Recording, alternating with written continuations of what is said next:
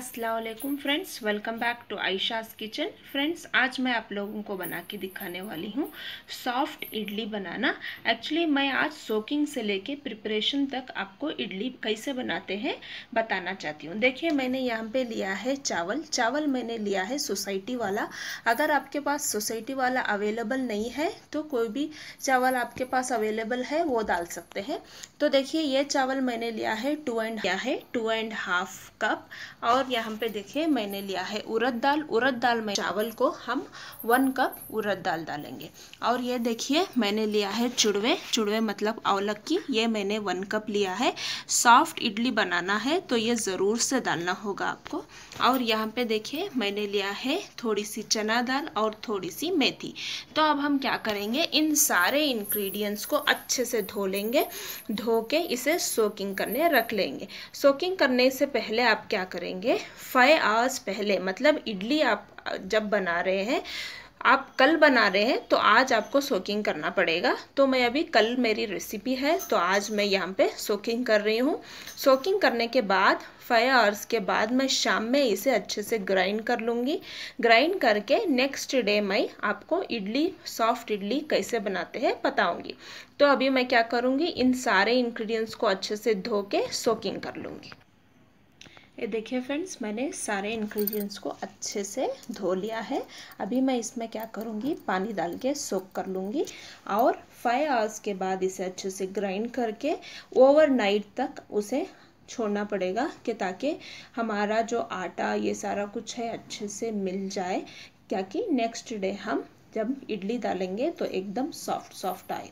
तो देखिए, अभी मैं इसमें डाल लेती हूँ पानी। सोकिंग करने के लिए सोक कर लेती हूँ और फाइव आवर्स के बाद ग्राइंड कर लूँगी। ये देखिए फ्रेंड्स हमारे इडली बैटर के लिए जैसे मैंने बोला था फाइव आवर्स के लिए सोकिंग करना है। तो देखिए हमारा चावल, माश की दाल और सब कुछ जो इंग्रेडिएंट्स डाले थे, सब कुछ अच्छे से सोख हो गए हैं। फाइव आवर्स में देखिए आपके चावल और सब कुछ ऐसे दिखेंगे। तो अभी मैं इसे अच्छे से ग्राइंड करूँगी। ग्राइंड करने के बाद हम ओवरनाइट रख देंगे ऐसे ही। नेक्स्ट डे हम इसे इडली डालेंगे। हाय फ्रेंड्स ये देखिए, हमारी ओवरनाइट सोकिंग हमारे बैटर की हो गई है। जैसे कि आप देख रहे हैं, हमारा आटा एकदम से ओवरनाइट सोकिंग होके एकदम फूल गया है। अभी मैं इसे क्या करूँगी थोड़ा सा नमक डाल दूँगी। नमक हम टू टेबल स्पून डालेंगे। टू टेबल स्पून नमक डालने के बाद मैं इसे एक स्पून लेके इसे देखिए, अच्छे से इसे मिक्स कर लूँगी। आपकी इडली कंसिस्टेंसी देखिए, मैं आपको बता रही हूँ, इतनी ही होना चाहिए। ज़्यादा अगर पानी डाल देंगे तो आपकी इडली अच्छे से सॉफ्ट नहीं आएगी। तो देखिए, नमक डाल के अच्छे से मिक्स कर लें और हम इडली बनाना शुरू करते हैं। ये देखिए फ्रेंड्स मैंने इडली बनाने के लिए इडली कुकर रख लिया है। तो मैं पहले इसमें क्या करूँगी?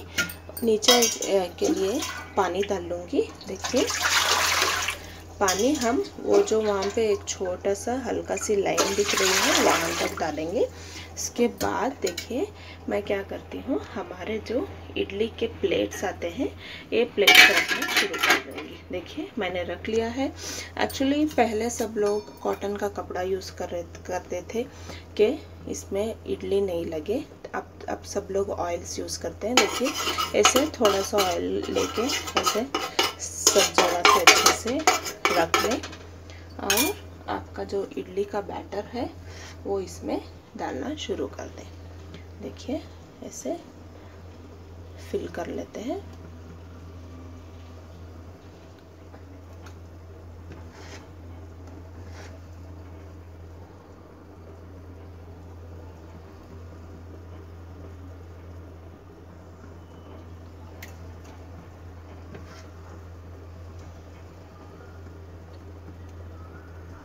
ऐसे मैं वन बाय वन प्लेट्स रख के अभी इडली कुकर मूझ देती हूँ। इडली बनने में नियरली 15 मिनट्स तो लगेंगे। इसके बाद हमारी इडली बन के एकदम तैयार हो जाएगी। मैं आपको बना बना के दिखाती हूँ कैसी लगती है। देखिए फ्रेंड्स हमारे 15 मिनट्स हो गए हैं। इडली हमारी बनी है कि नहीं देखने के लिए? हमें देखिए एक स्पून लेना पड़ेगा। स्पून के निचले हिस्से से देखिए आप इडली को ऐसा प्रेस करेंगे। देखिए एकदम सॉफ्ट सॉफ्ट बाहर निकलेगी। अंदर आटा कुछ नहीं है तो आपकी इडली बन के तैयार है। अभी हमारी इडली बन के तैयार है। ये देखिए फ्रेंड्स, हमारे इडलीस बन के एकदम तैयार है। जैसे कि आप देख रहे हैं, एकदम गरम मैंने सर्व किया है। मैंने वड़ा और चटनी के साथ इसे सर्व किया है। आप भी एक ज़रूर ट्राई करिए और सॉफ्ट सॉफ्ट इडलीस बना के आपके घर में सर्व कीजिए। ये थी मेरी आज की रेसिपी इडली। अगर आपको पसंद आई तो प्लीज़ लाइक, शेयर और सब्सक्राइब करिएगा। अस्सलाम